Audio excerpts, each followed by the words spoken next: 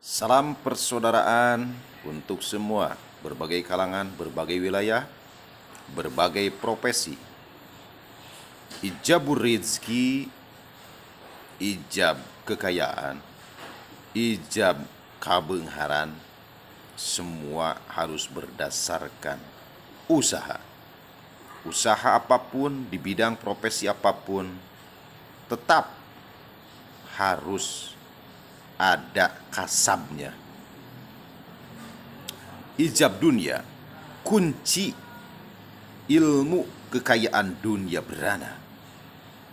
Seumpamanya, kalau kita punya rumah besar, mewah, di dalamnya ada semua barang-barang yang antik, semua barang-barang yang bermerek, yang bermahal, kalau kita kepergian, mana mungkin kita menggembok dengan yang besar sebesar mobil? Tidaklah mungkin.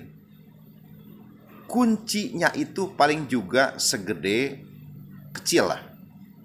Segede beton, paling juga 12 mili, 10 mili ataupun 6 mili. Nah, itu kuncinya. Nah, kuncinya sedikit, kuncinya pendek, kuncinya istilahnya nggak besar sekali. Tapi di situ menggembok si seisi rumah, seisi gudang. Ya, berarti jelas.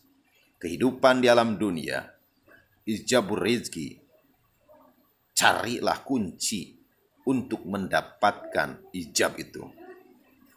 Jadi ijab dunia itu semua juga berdasarkan ilmu dunia berdasarkan kunci kekayaan dunia. Nah, itu saya siap untuk mengijabkannya. Ijab kekayaan, ijab kebenaran.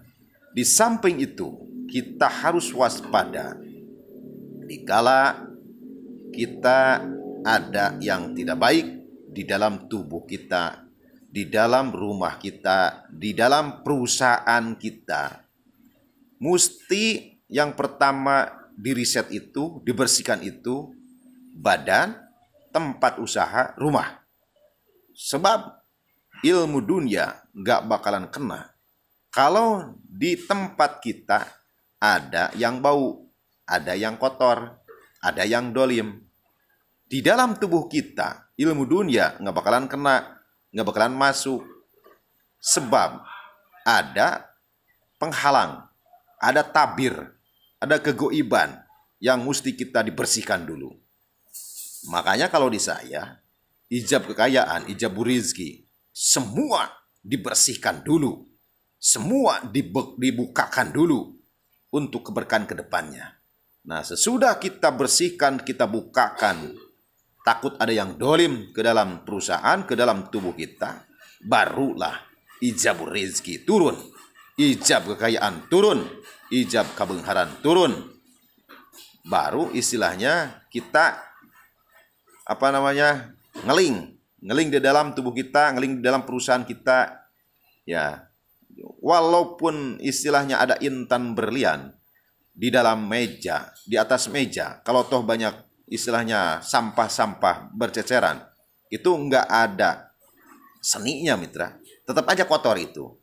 Ya logikanya gitu. Jadi kita yang nomor satu perisetan. Yang nomor satu pembersihan. Pembersihan, pembuangan, penghalang, pembuangan yang tidak baik di dalam badan kita. Adapun profesi apa pun, agama apa pun, itu masuk.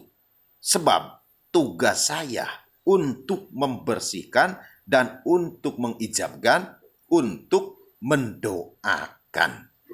Bila mana orang-orang itu punya keyakinan, bila mana orang-orang itu untuk meminta didoakan. Nah itu sekilas ijab rizki, sekilas ilmu kekayaan. Salam silaturahmi, salam rahayu.